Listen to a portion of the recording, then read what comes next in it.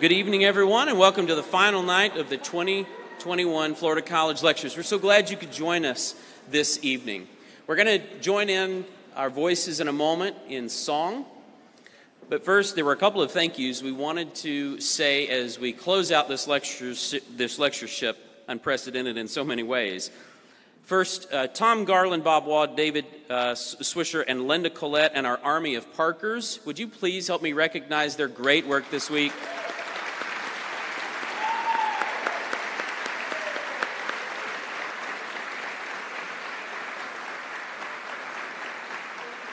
Logistics are so difficult, and they've done an amazing job with that. Second, Kelly Mitchell, Judy Bertram, and all of our registration volunteers this year. We had so many of you jump in and help, whereas we normally have students to help. So thank you.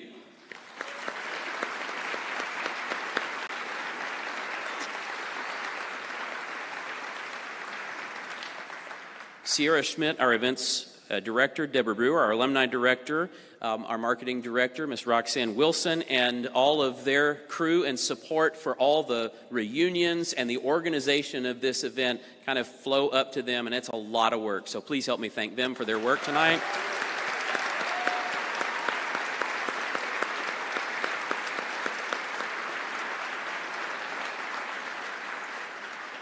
Two more, and then we can quit clapping.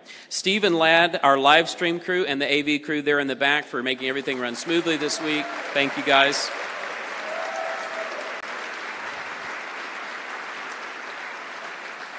And then, of course, Dr. McClister, who's the chair of our Bible department, and our Bible professors who spend a tremendous amount of time in the planning of these, the preparation, and uh, the publishing of the book. It's a tremendous amount of work. They're here early to make sure that all the speakers are arranged for, and uh, they have been very diligent to make sure uh, that all of this goes over. Please join me in welcoming and, and thanking them for all their work.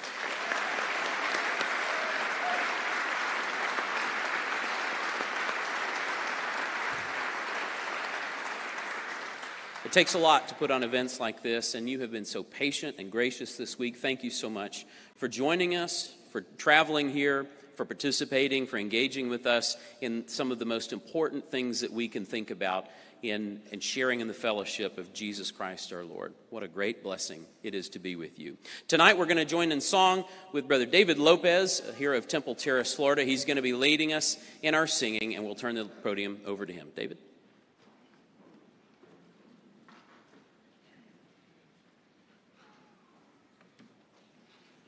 Good evening. It's good to be here tonight. Let's sing number Hallelujah, Praise Jehovah.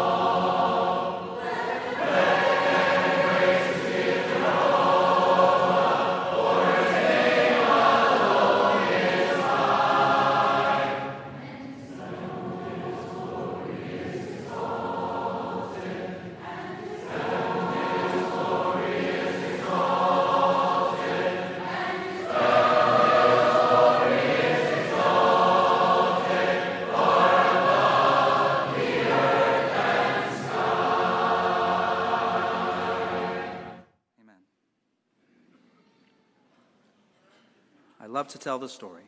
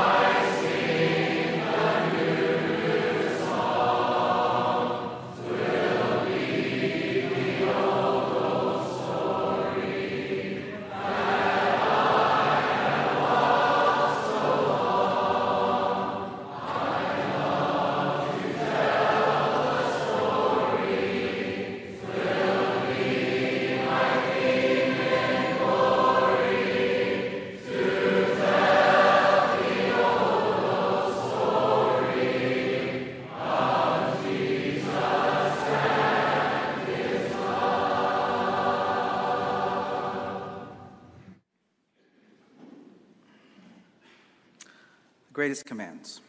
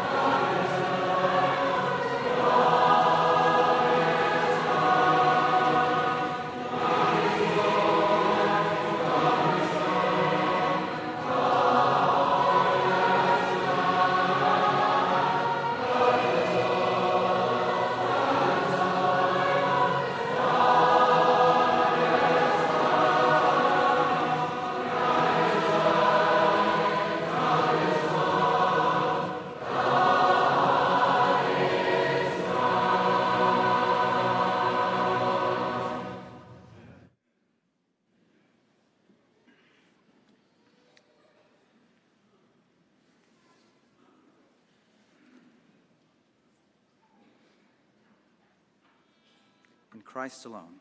Mm-hmm. Amen.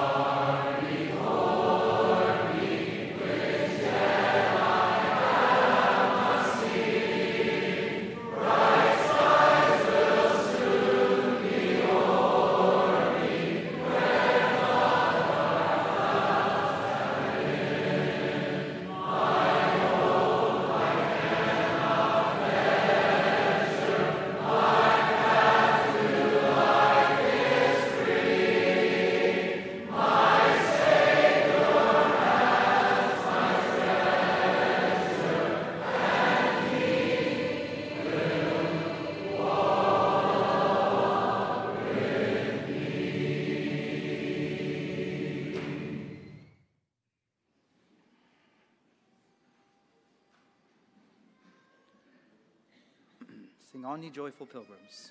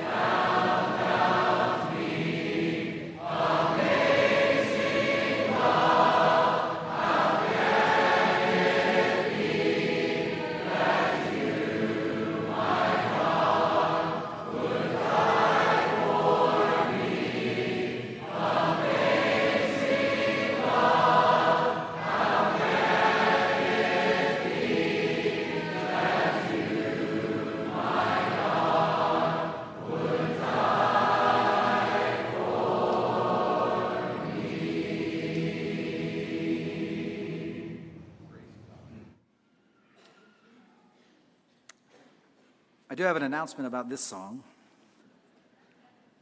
Um, the name of Christ uh, is not just in English.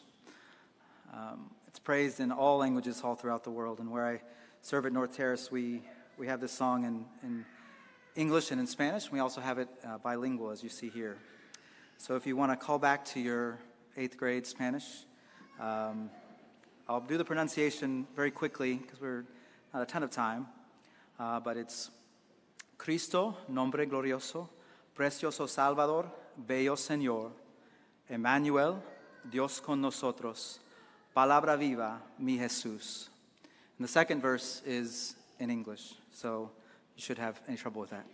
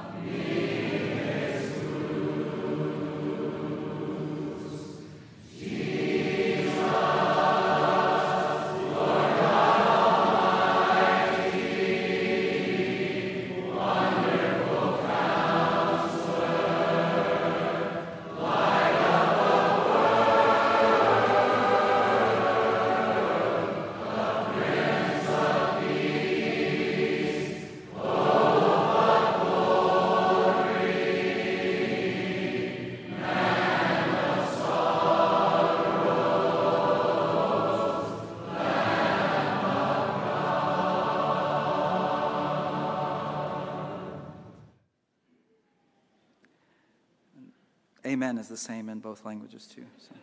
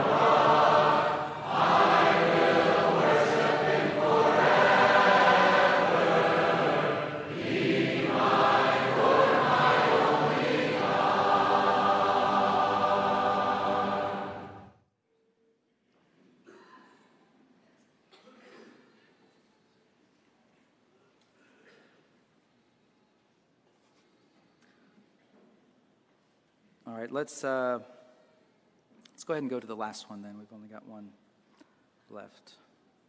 Sorry. Okay.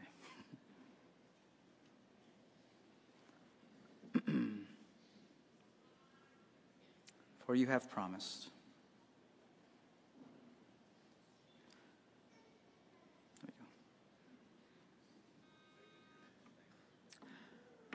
I was going to have you stand, but if you had trouble seeing Lorenzo, you'll have trouble seeing me more. But let's go ahead and stand.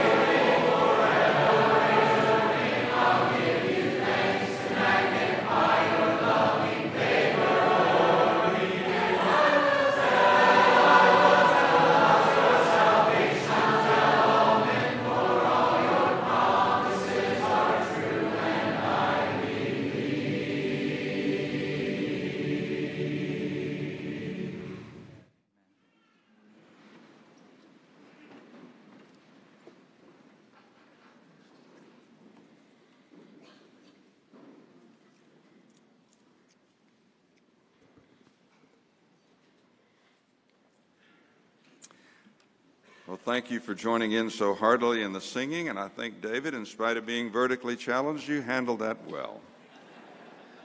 Good job of leading us tonight. We've had a wonderful week of singing, haven't we? These are memories you can carry with you for the rest of your life. Welcome to our final lecture of the 2021 lectureship, built around the theme Never Has a Man Spoken the Way This Man Speaks. So I'm going to ask you tonight, if you were here last uh, Monday evening for the opening lecture, I'm going to ask you, has this been boom? I hope so. And I have an idea it'll be that way again tonight. If we truly listen to the one who spoke like no man ever speaks. This evening, we're pleased to have Brother David Banning to speak to us about the parable of the wise builder and the fool in a lesson entitled Founded on the Rock. Brother Banning is one of the evangelists working with the Kleinwood Church in Spring, Texas. Before joining the Kleinwood congregation, he preached for churches in Texas, Illinois, Florida, and Alabama. David and his wife Heidi, who's with us tonight, are both alumni of the class of 85. They have a son, Todd, married to Laura, and a son, Jonathan, married to Leah. Todd's of, of the class of 10. David has done special studies for youth in the U.S. and in Mexico, as well as teacher training classes. His publications include a series of Bible school materials for young people called Getting Them Talking and Tackling the Text, which are available, of course, in our bookstore and have been very useful in the teaching of young people. After we're led in prayer in just a moment by Brother Joe Hammontree, I bid you give David your careful attention as he calls us to hear the beloved parable from the one of whom it was said, Never spake a man like this man. Brother Hammontree.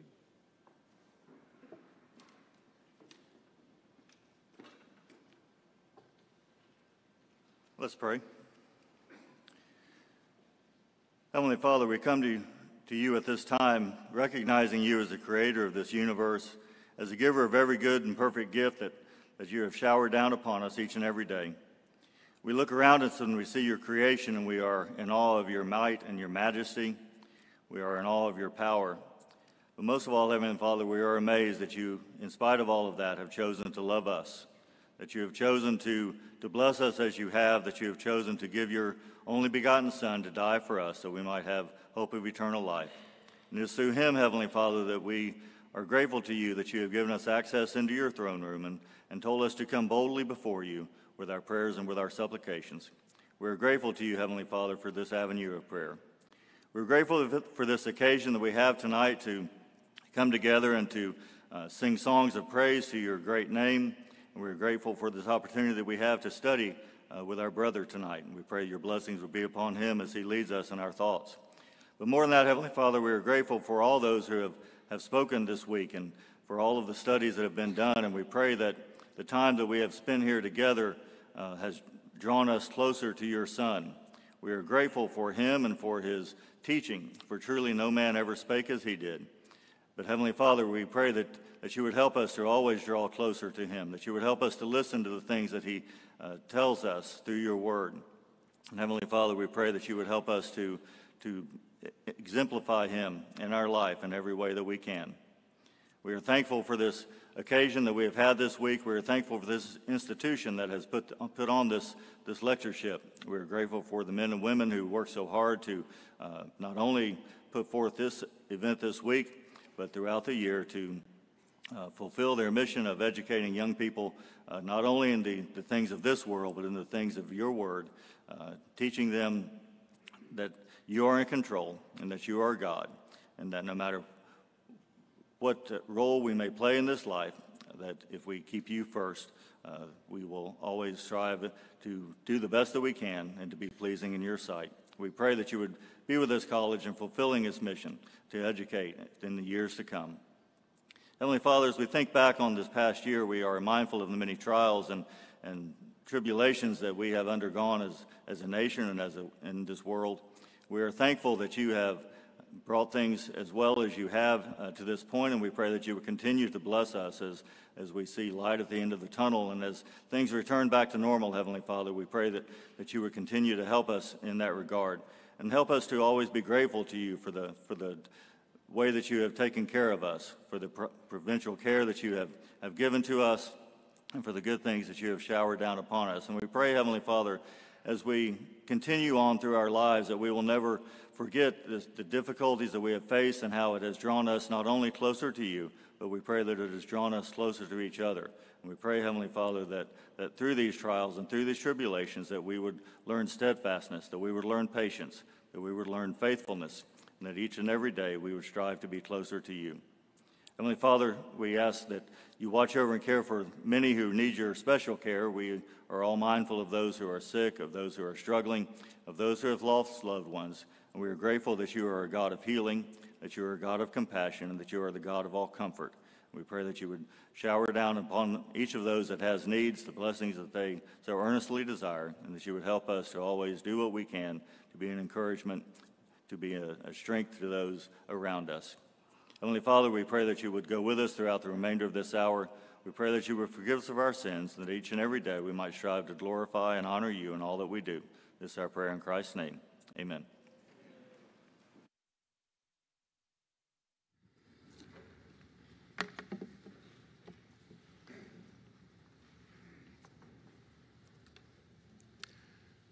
I was beginning the process a few years ago of trying to sell my house. And so, as part of that, I did, I know what some of you guys have done. I, I started walking around the outside, looking at what might need to be painted or caulked or fixed. And, and, and so, as I was making my way around the back, the back side of this house I own, there was this big brick wall that went up. And, and as I, I went around that side of the house, I saw it for the first time there was this, there was this crack in the mortar between the brick that started low and snaked its way all the way up that wall to the top. And, and I was sick.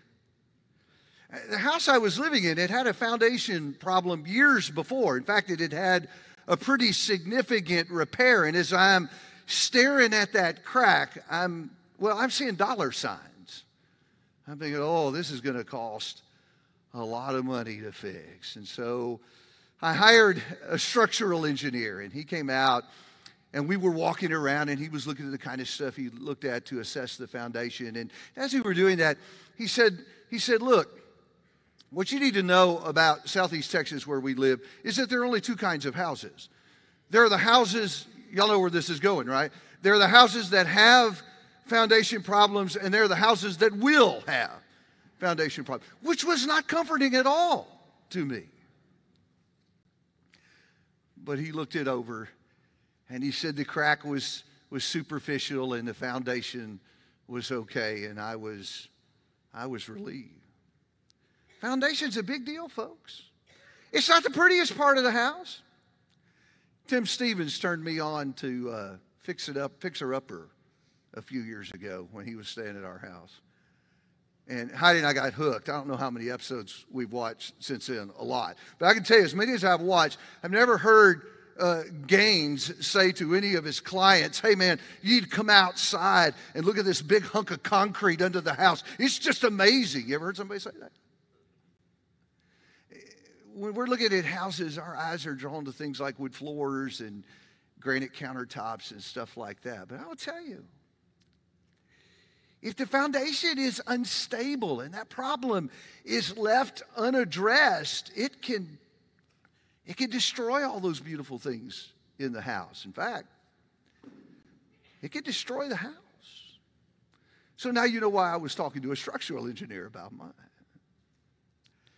I wanted to stir up your minds about that this evening because in the text we're going to look at in Matthew chapter 7, as Jesus concludes the Sermon on the Mount, he's thinking about foundations too, which is why I wanted us to think about it. Not the kind of foundation that goes underneath a house, but the kind of foundation on which people build their lives. I mean, he's delivered he's delivered this amazing sermon where he has talked about what kingdom citizenship looks like. And as he, as he begins to conclude the sermon, there is this one last decision to which he, he needs to call his audience and ultimately all of us. And so he does that by telling a story about foundations. I think it is one of the most memorable of Jesus' parables, and that may be due in small part to the cool hand gestures that go along with the children's song. I want you guys to know for about eight weeks, my wife has been pleading with me to begin this lecture by leading everybody in the wise man song, right? And then Buddy gets up Monday night and he talks about how all these unprecedented things are happening this week. And that just added fuel to her fire. Thank you. And while I am loath to ever not take my wife's advice, yeah, I'm not going to do it, okay? We're going to read it. So grab your Bible. This is the end of Matthew chapter 7. I think Ralph's disappointed. He had his, he had his builder all ready to go. Matthew 7, verse 24. Will you read there with me? Jesus says, Therefore, everyone who hears these words of mine and acts on them may be compared to a wise man who built his house on the rock. And the rain fell, and the floods came, and the winds blew and slammed against that house, and yet it did not fall, for it had been founded on the rock. Everyone who hears these words of mine and does not act on them will be like a foolish man who built his house on the sand. The rain fell and the floods came and the winds blew and slammed against that house, and, and it fell, and great was its fall. What I'd like to do together tonight is to invite you to consider with me three pieces of this parable that I think knit together to call the audience to this last great decision that Jesus needs them to make. A great decision, frankly, that we need to make too. So let's look at these three pieces of the story. Let's start with the builders, right? Because that's what our story is about. It's about it's about men doing what men have always done and every time and, and every place. They are building a place to live. They are building houses. That's the story. That's our story. We're all building too. God has allotted to each of us a measure of time and resources to work with. We don't all get the same amount of time or the same quality of resources, but listen, every one of us have been given something to work with. But we don't all build in the same way, do we? Some people are haphazard about their building. They just sort of float through life trying to get through each week to the weekend, right? Along the way, they, they squander their resources and they, and they miss opportunities and along the way exasperate their parents. And yet we know people who are just the opposite of that, right? They are intentional and goal oriented and focused, determined to take whatever God put in their hands and absolutely make the most of it. It's the kind of people you don't ever want to travel with because first day of vacation, they show up with a spreadsheet and they've scheduled every hour of every day of the whole vacation, right? It's how they do life.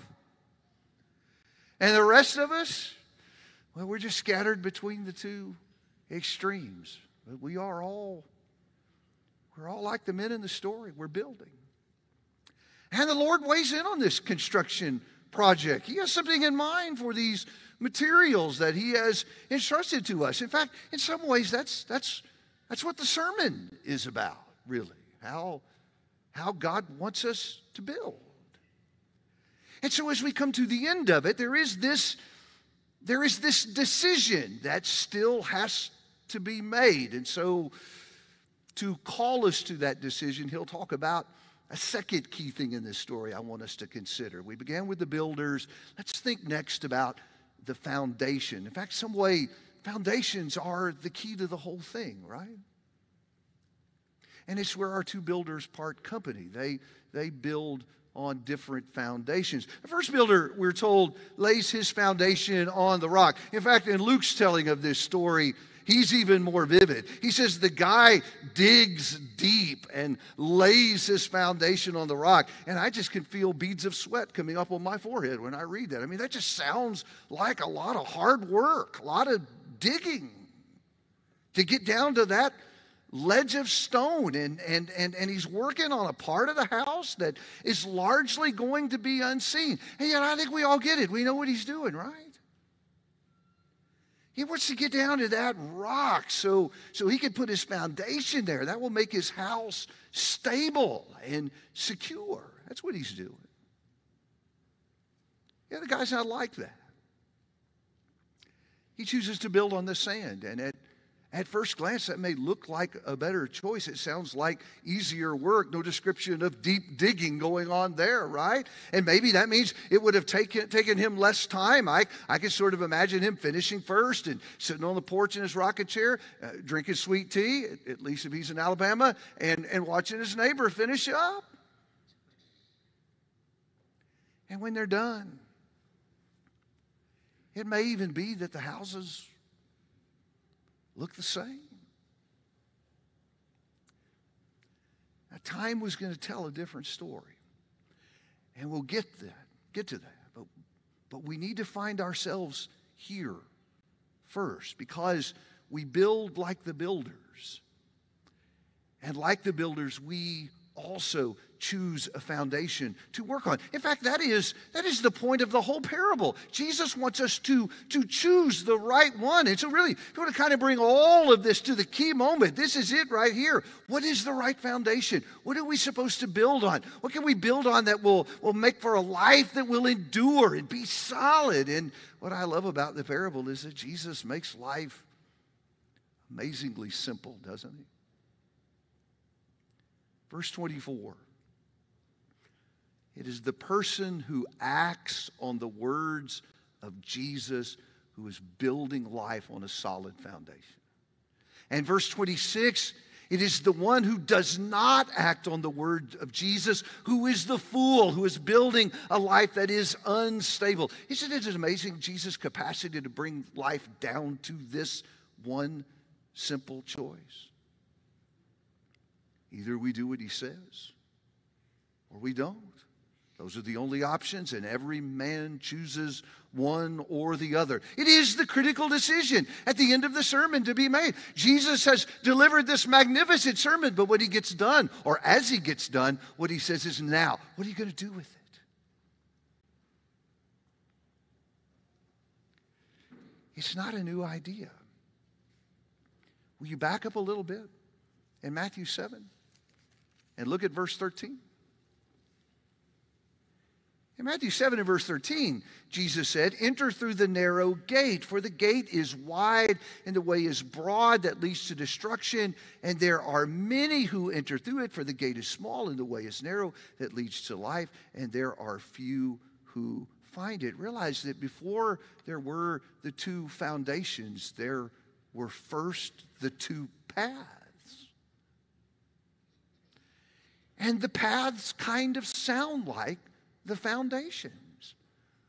One sounds like an easier way to go than the other. If you look at verse 13, we're told the gate to enter that first path is wide and the path is broad. I love what Stott says about this.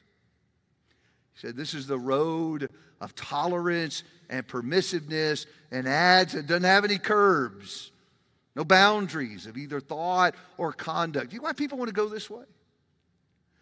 Because they can do what they want to do.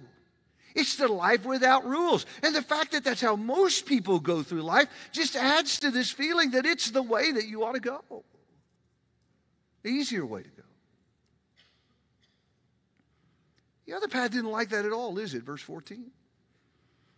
Kind of like digging down to the rock. It sounds harder. Jesus says in verse 14, the gate to enter is small and the way is narrow. You just get the sense it's a harder way to go. People travel this path, they allow God to set boundaries and place limits, and then they, they discipline themselves to adhere to the curbs Jesus put in the road. That's why people don't want to go that way. They want a life without limits to be able to do what they want to do. It is the better way, it's the more fun way. That's what the world believes. And sometimes we do too. The problem is that when people when people think that, they have too small a cut of time. They're looking at a, a snapshot and not the broader picture. When you kind of step back a little bit and get the big picture, what you realize is that that broad path down the way, there are some potholes in that road. Because grief, brothers and sisters, and suffering are rarely far behind the choice to sin. I think that's why ultimately people who travel the narrow way are happier with their choice. Listen, the great thing about not sinning is you don't get the grief that comes with sinning. But it isn't the more important way to travel that narrow path. Remember, back in verses 13 and 14, Jesus says that these paths have destinations. The broad way is leading to destruction, the narrow way is leading to life. Don't believe the lie that our world is telling us that there are all these different ways to go, and ultimately they all lead to God. That is not what Jesus said. Jesus said there are only two ways to go through life with two very different destinations. It's simple, brothers and sisters. Heaven or hell, those are the options if we are taking a path to one or the other. I recognize that that rather narrow view of life is going to be offensive to a lot of people, but let's never forget the fact that people are offended doesn't make it any less true. And so Jesus appeals to us in verse 13 enter through the narrow gate. It is life's critical decision.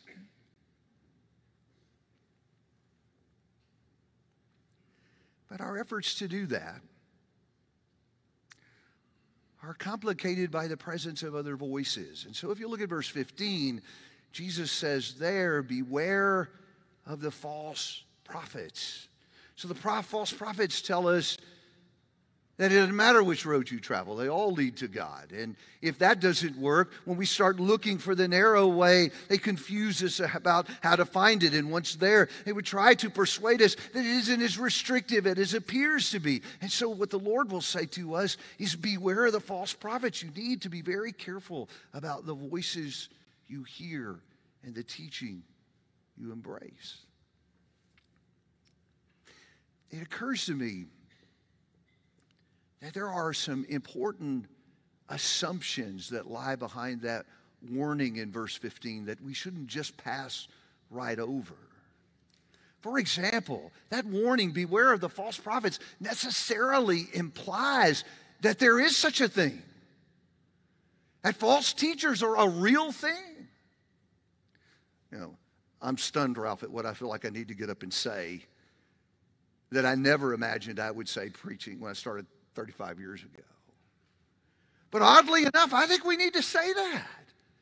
And false teachers really are a thing, and we need to be cautious about that. That there are voices out there that are, that are saying what Jesus said and calling us to the narrow way, but they aren't the only voices.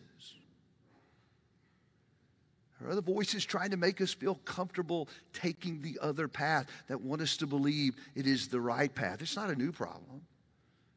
I mean, even in Jeremiah's day, in Jeremiah 27 and verse 9, he told the people, Do not listen to your prophets, for they prophesy a lie to you. Paul warned the Galatian churches in Galatians 1 that there were some who were trying to distort the gospel of Christ. And so it is today. There are voices that distort the gospel. And so Jesus would say, be very careful about the voice you choose to hear and the teaching you choose to embrace. The second assumption that lies behind this warning, beware of the false prophets, is that we, we, we can know who the false ones are that we can distinguish between what is true and what isn't. This idea, folks, that all truth is subjective and what's true for you may not be true for me, that's just a lie. It isn't so. When Jesus warned us to beware of the false prophet, that necessarily implied that there was a way to know who the false prophet is, to identify him, some objective standard by which to measure him. And there is. Jesus claimed to be the source of truth. Jesus claimed to provide the only path to the Father, and so he becomes the standard.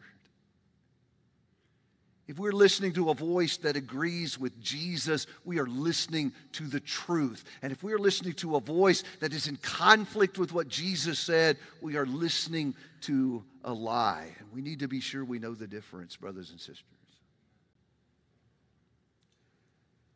because everything is hanging on this. Verse 13 says there's destruction at the end of the broad way. Verse 23 goes on to add that even the very religious who don't obey Jesus, and you can do that, in the end are told to depart. Verse 21 says, Only those who do the will of the Father enter the kingdom of heaven.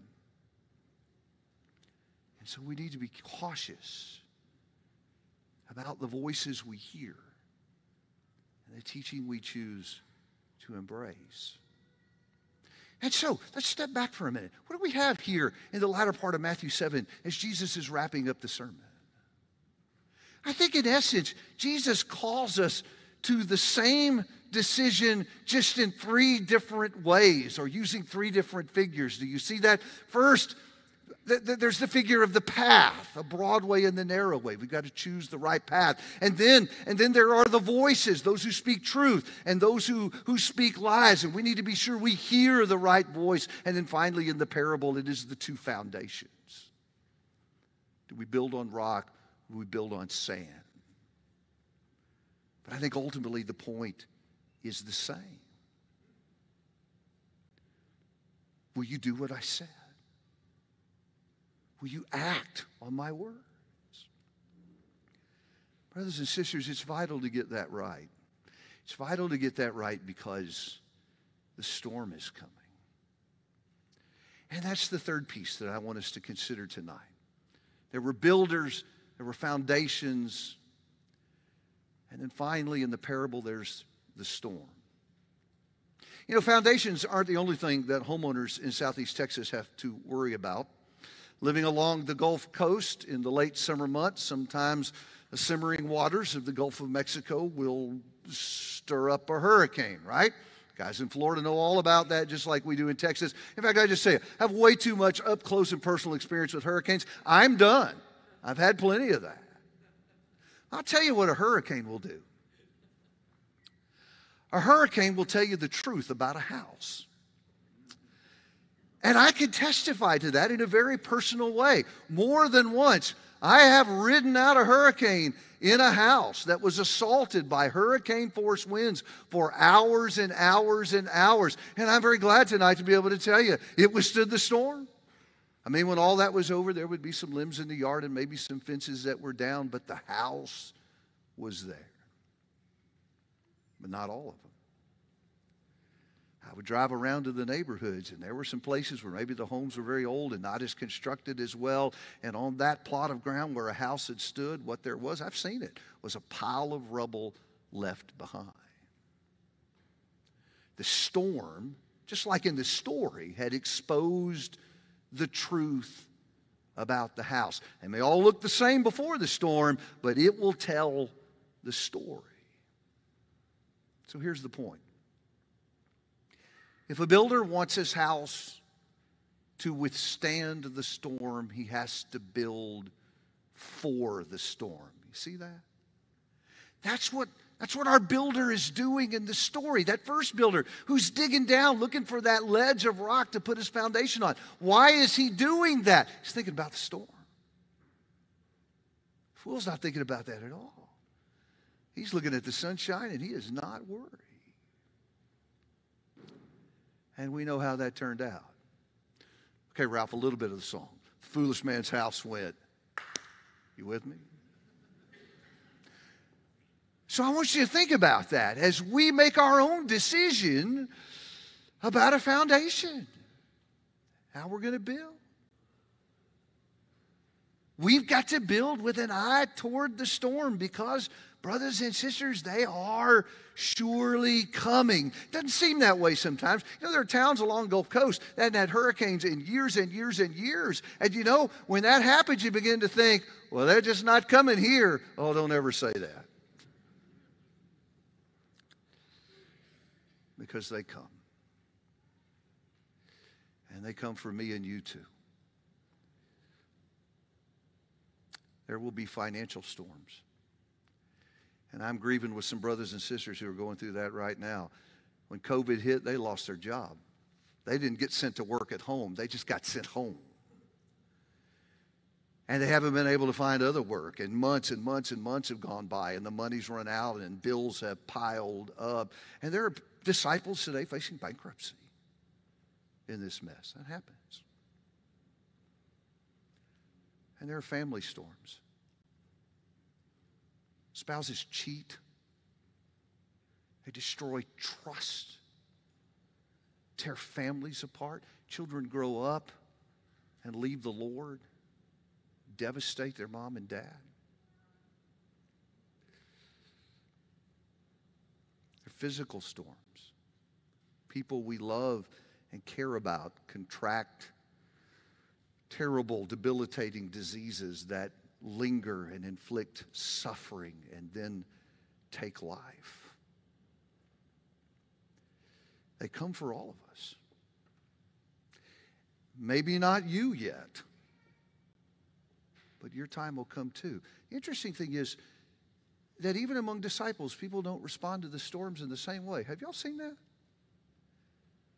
I have watched some Christians be afflicted with some terrible, terrible tragedy in their life. And it's as though that tragedy just flooded them over with grief and sorrow and bitterness. And when it was all over, they just walked away from Jesus. They just gave up. And I've seen exactly the opposite happen. I've watched disciples be afflicted with some awful storm, some awful tragedy, and as it flooded into their life, they just grabbed onto Jesus and held on. Held on. And when it was all over, their faith was stronger and deeper than before the storm. How do you account for that?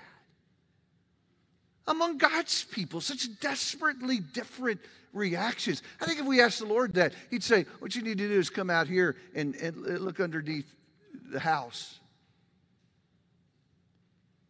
It's, it's about the foundation that they were building on.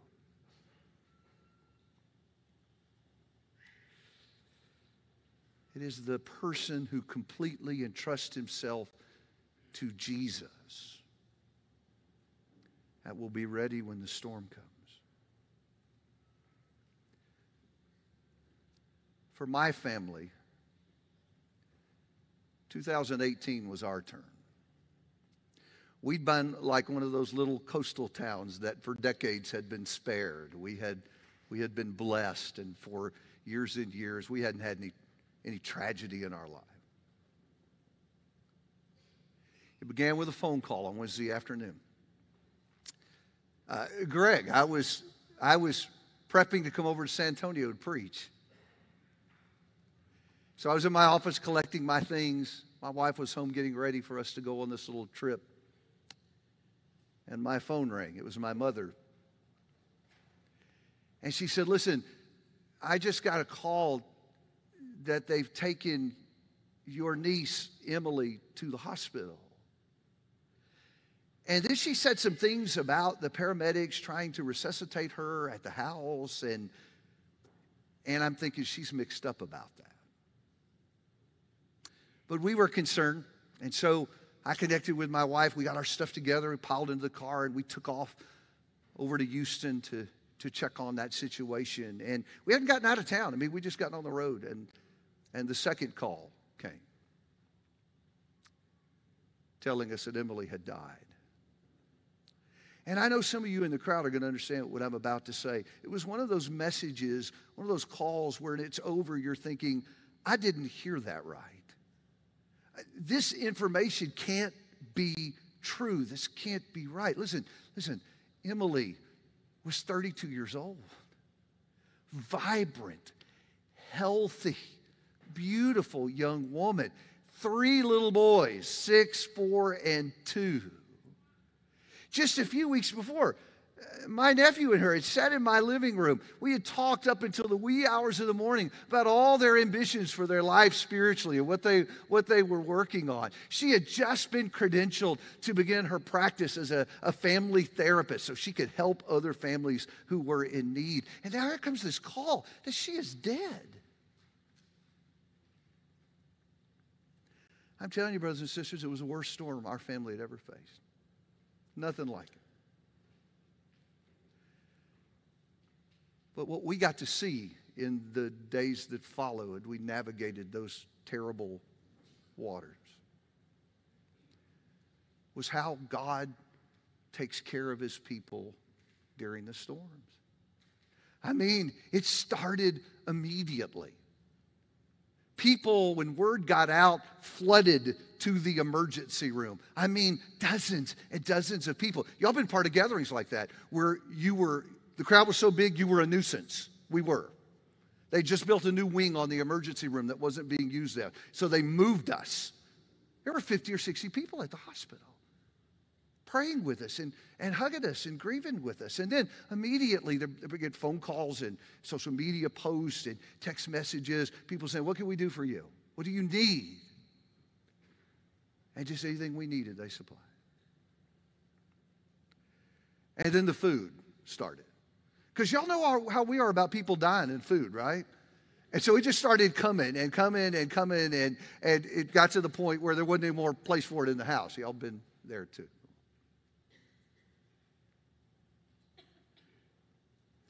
And we really needed that. That was, that was important to us. But what was more important is as we began to process what had happened to Emily, we recognized that we don't grieve as those who have no hope. And we were sad that now we were going to be apart, but we also knew that it was for a little while. And we began to feel, even in that tragic moment, that anticipation for the grand reunion that is coming for us. And I got to tell you, it just gave us so much peace, gave us such a different perspective on that whole situation. And as I'm going through all of this, again, for the first time, I began to wonder aloud to some of my friends people who don't have all of this, how do they do this? How do they get through moments like this? And I got to tell you, brothers and sisters, the answer to that question is sometimes they don't. They don't ever fully recover. The grief just overflows and drowns them. And for the rest of their life, they live in the past of this awful tragedy that they never really got over. Let me be crystal clear about something tonight. Building on the sand will get you through the sunny days but it will leave you totally unprepared for the storms. And they are surely coming. Now, if I'm going to be fair with this text, and I'm wondering if there are some guys in the audience already questioning this, I have to acknowledge that there may be something else or something more that Jesus has in mind when he talks about this storm. So I'm just going to confess to you, I wrestled with this and I couldn't really decide, so I'm just telling you both, okay? I say that because if you look at this in context, Jesus has been making us think about the end all the way through the latter part of this chapter, hasn't he? Go back to verse 13 and that destruction that's at the end of the Broadway, and then that fire in verse 19 that consumes the bad tree. And then there's that day in verses 22 and 23 where the lawless are told to depart. And, and so you have all of that, and you get to the end of this last parable, and, and Jesus talks about this coming storm that exposes every man's building for what it really is. And so I read that and it occurs to me that if that doesn't happen at any other time, when the trumpet sounds and Jesus comes, all the veneers are gone. And our building is exposed for what it really is. And maybe what Jesus is saying is this is the one who acts on my words, the one who does what I say. That is the man who is building a life that will stand in the face of that last great storm. So I will leave that to you to ponder and consider whether that's what the Lord has in mind, or as one of friends said to me, maybe it's all of that. And maybe he's right. John Stott has written an outstanding book on the Sermon on the Mount. And when he gets to this part of the sermon, he said something that I really like, I want to share. He said the question is not whether we say nice, polite, orthodox, enthusiastic things about Jesus, nor whether we hear his words, listening, studying, pondering, memorizing until our minds are stuffed full of his teaching. That made me think about lectures. Isn't that what we've done this week?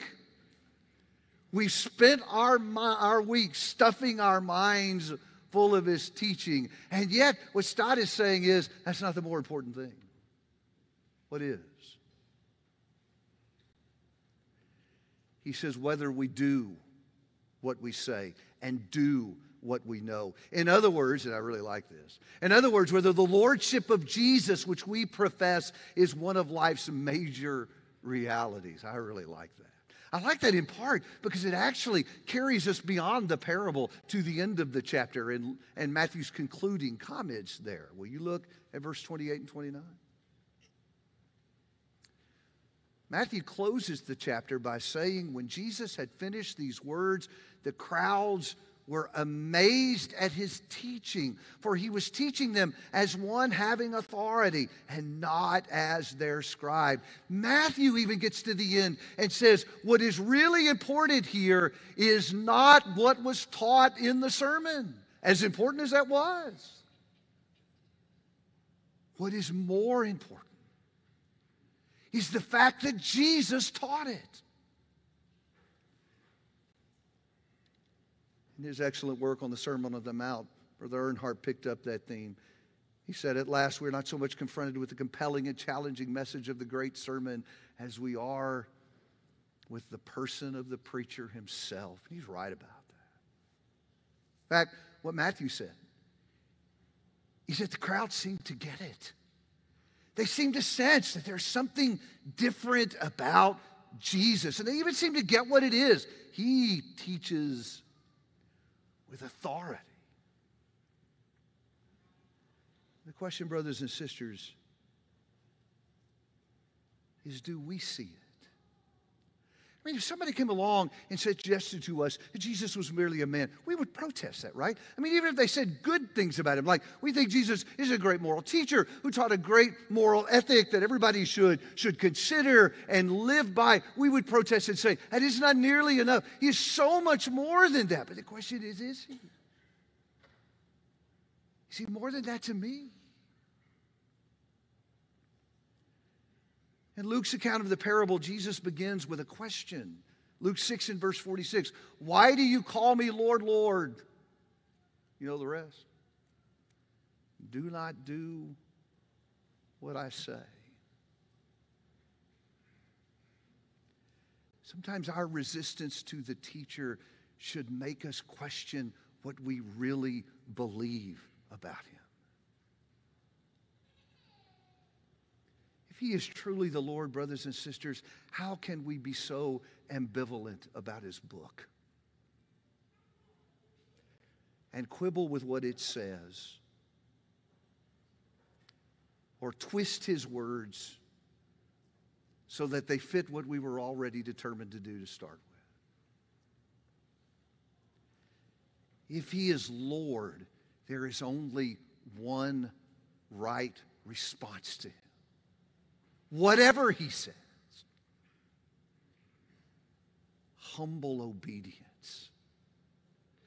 Which brings us back to the parable, where Jesus says that it is the man who takes these words and acts on them, who's building a life that will endure and who will be ready to face the last great storm. All week we've been listening to Jesus, like this crowd who heard the Sermon on the Mount. As we come to the end of our week, there is one critical decision left to be made.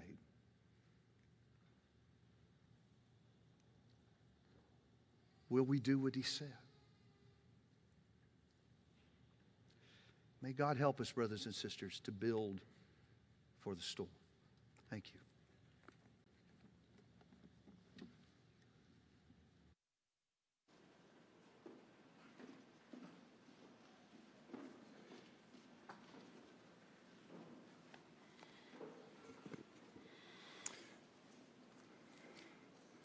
Thank you, Brother David, and a powerful amen to all of that. And let us leave with that ringing in our ears. Let him be truly Lord. We have a couple of other things this evening before we're dismissed. It's my pleasure this evening to introduce to you our academic dean, Dr. John Weaver, who officially began his role at Florida College as academic dean in January of 2020. Already you are feeling sorry for him. what a first year and three months he has faced. In spite of the unusual challenges the college has faced in the year of the pandemic, Dr. Weaver has led our faculty with vision, enthusiasm, determination, and much hard work, not only to survive, but to thrive and build toward a brighter future. I believe everyone in the Florida College family would tell you that it was God's providential care that sent him to us at such a time as this. Dr. Weaver came to us with 15 years of experience as an administrator in higher education, having served as the head of public service at Emory University in Atlanta library director at Columbia University in New York, and as well dean of the Library Services and Educational Technologies at Abilene Christian in Abilene, Texas. He has led academic libraries, hired and developed faculty and instructional support services personnel, and served on vitally important academic and curriculum review committees. He holds degrees from the University of Arkansas, BA in philosophy, from the University of Chicago, an MA in religious studies, from the University of South Carolina, of Master of Library and Informational Services, and from Emory University, a PhD in New Testament and early Christianity. Clearly, he's academically and experientially highly qualified for this role at Florida College. Beyond all of that, John, and I'm calling him John on purpose instead of Dr. Weaver, has also served as an evangelist and a deacon in the Lord's church. He has traveled as an evangelist to India with Ed Harrell and other preachers for many years. He and his wife Vivi, the former Vivi Washburn, are both alums of Florida College. John is the grandson of our past president, James R. Cope, through his mother, Kathy Cope Weaver. In short, his roots run very deep at Florida College. He and Vivi have five children. Their eldest is excitedly looking forward to being a freshman with us this fall. I say to you, all of those things together in God's providence brought him to us, we believe, for such a time as this. So I ask you to please give him your careful attention as he gives you an overview of the future direction of the academic program at Florida College. Dr. Weaver.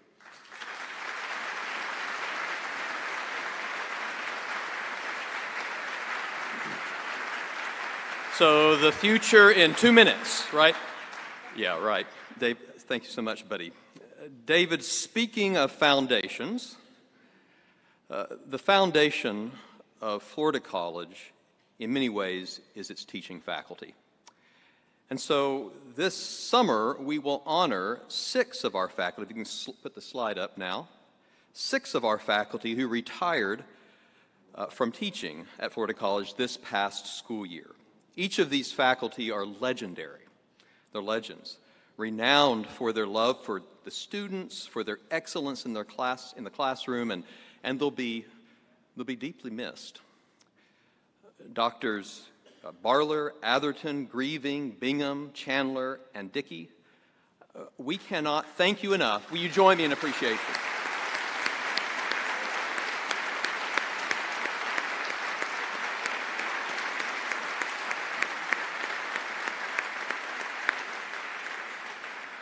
Now, on that foundation, is being built a new generation of academic programs and new faculty. And so this coming fall, we're, wel- we're grateful to welcome three new academic programs and four new faculty in nursing, marketing, which is a business program, and kinesiology. Kinesiology is a discipline that trains students in exercise science, in athletic training, and physical therapy, and occupational therapy.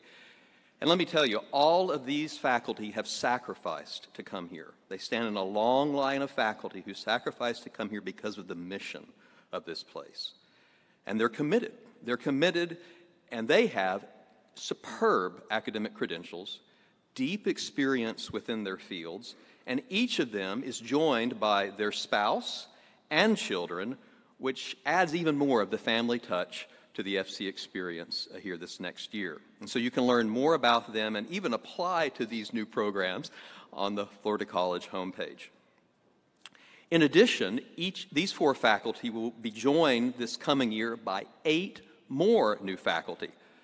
Some of them are coming in after the retiring faculty, some are entering into new programs, some are coming because of the new nursing program and its growth. And these are faculty names, some of which you will recognize very well, like Dr. Doy Moyer. And they're also alums which are completely new to the college, like Dr. Angela Garcia, who will join Dr. Thaxter Dickey in teaching psychology here at the Florida College.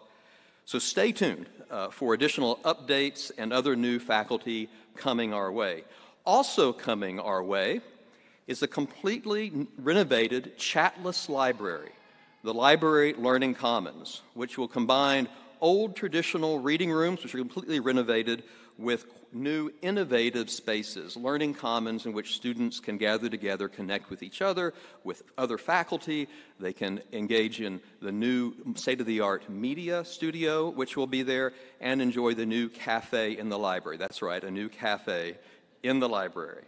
And so we look forward uh, to that this next year. And so this is just one of several newly renovated academic spaces which will happen over the summer, which, along with the activity zone at the, at the center of campus, I think should make next year, our, our, this 75th year, one of the most exciting and innovative in the history of Florida College. And so I want to thank you for your support of FC and welcome you back next year to meet some of these people and to enjoy some of these spaces.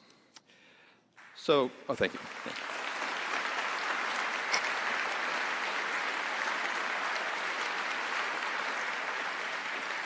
So now, to introduce the theme for next year's lecture, I welcome to the podium the chair of the Bible department and the new managing editor of Florida College Press, Dr. David McClister.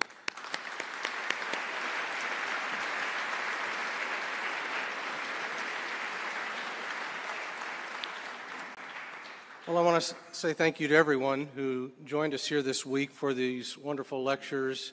And I certainly hope that you've been edified and benefited by them as much as I have. I want to thank all the speakers for all the work that they did, in the work that they did not only in preparing their lessons, but also in presenting them so skillfully. And I want to echo Adam's thanks to everyone here at this school who handled all the details that make a week like this possible. It's truly, truly a wonderful thing. Over 3,000 years ago, an event happened that changed everything. Interestingly, as powerful and as important as this event was, it left virtually no trace in the secular historical records of any nations. Yet, it became arguably the most important event in the history of Israel. Of course, we're talking about the Exodus from Egypt. The Exodus turned a group of slaves into the people of God. It was proof of the faithfulness of God to his promises. It was a public defeat of a great and arrogant enemy, and it was a type of an even greater rescue to come. And so we invite you to come and be with us for the 2022 Florida College Lectures when we will explore the burning bush, the Passover, the parting of the Red Sea, the giving of the law, the tabernacle, and many other subjects relating to this crucial moment in the history of God's people. Every facet of this great event says something about Jesus and the people of Jesus. And so please plan to be with us when we study I Brought You Out, the Exodus. Thank you.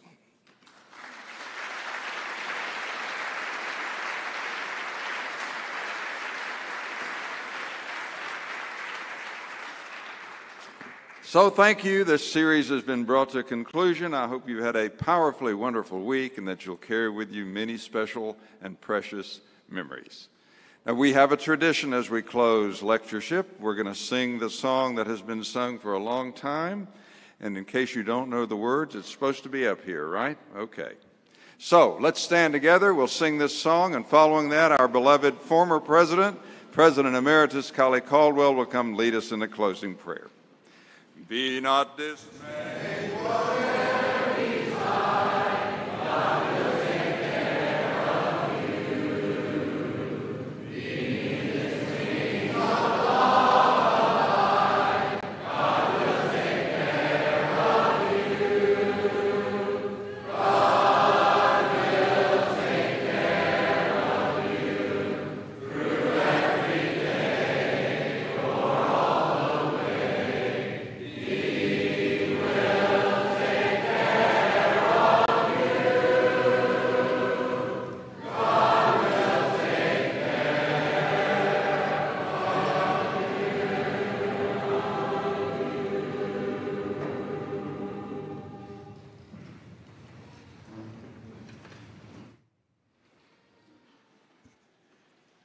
Good Father, we are so blessed by you to bring us together in this place after having created us and recreated us in Christ.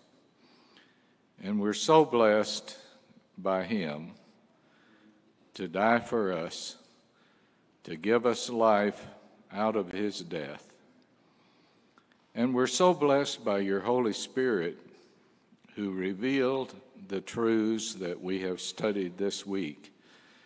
And we pray, our Father, that we will be blessed with the kind of heart going forward to receive these truths.